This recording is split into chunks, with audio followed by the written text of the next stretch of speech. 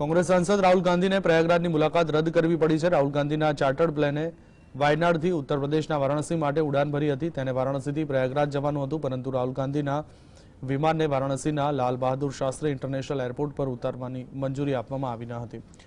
કોંગ્રેસે ભાજપ પર આરોપ કર્યો છે કે રાહુલ ગાંધીની લોકપ્રિયતાના ડરથી રાહુલ ગાંધીનો પ્રવાસ રદ કરવાનો આરોપ લગાવ્યો. કોંગ્રેસના પ્રયાગરાજ પ્રાંતીય અધ્યક્ષ અજય રાય ભાજપ પર રાહુલ ગાંધીની વધતી લોકપ્રિયતાથી ડરવાનો આરોપ લગાવ્યો છે.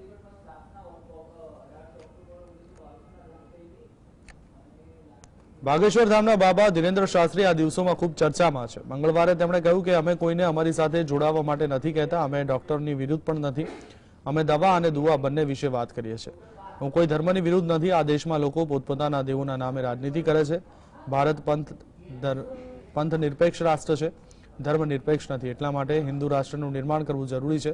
તમામ હિન્દુઓ એક થઈને શસ્ત્રો ઉપાડવાની અપીલ કરવાના આરોપ પર તેમણે કહ્યું કે જો સ્વરક્ષણ માટે બુલડોઝર બુલડોઝર ઉપાડવું ખોટું છે, તો તે કેવી રીતે રક્ષણ કરશે? અમે હત્યા વિશે વાત કરતા નથી, અમે કોઈને કાયદો હાથમાં લેવાનું પણ કહ્યું નથી, શસ્ત્રો આપણા દેવતાઓના હાથમાં રહે છે.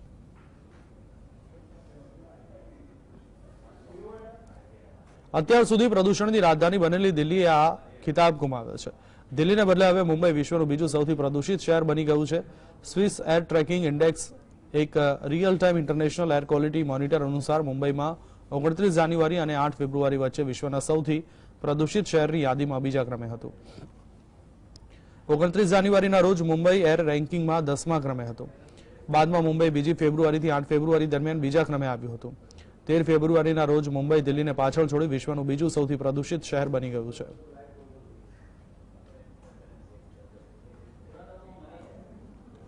દેશમાં છસો પંચાણું યુનિવર્સિટી અને ચોત્રીસ હજાર સાતસો ચોત્રીસ કોલેજો નેશનલ એસેસમેન્ટ એન્ડ એક્રેડિશન કાઉન્સિલની માન્યતા વગર ચાલી રહી છે.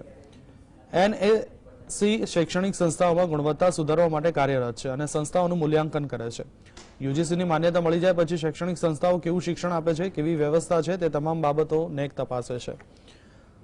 દેશની અડધો અડધ શૈક્ષણિક સંસ્થાઓ નેકની માન્યતા વગર ચાલતી હોવાથી શિક્ષણનું સ્તર ચિંતાજનક નીચું ગણી શકાય. કેન્દ્ર સરકારના શિક્ષણ વિભાગના અહેવાલમાં સ્પષ્ટતા કરવામાં આવી કે અત્યારે દેશભરમાં ચાલતી છસો પંચાણું યુનિવર્સિટી અને ચોત્રીસ હજાર સાતસો ચોત્રીસ કોલેજો નેકની માન્યતા વગર ચાલી રહી છે.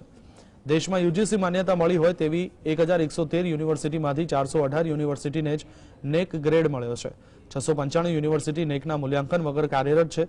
બીજી રીતે કહીએ તો અડધા કરતાં વધુ યુનિવર્સિટીમાં એજ્યુકેશનના એક્સપર્ટ દ્વારા શિક્ષણની ગુણવત્તાનું મૂલ્યાંકન થયું નથી.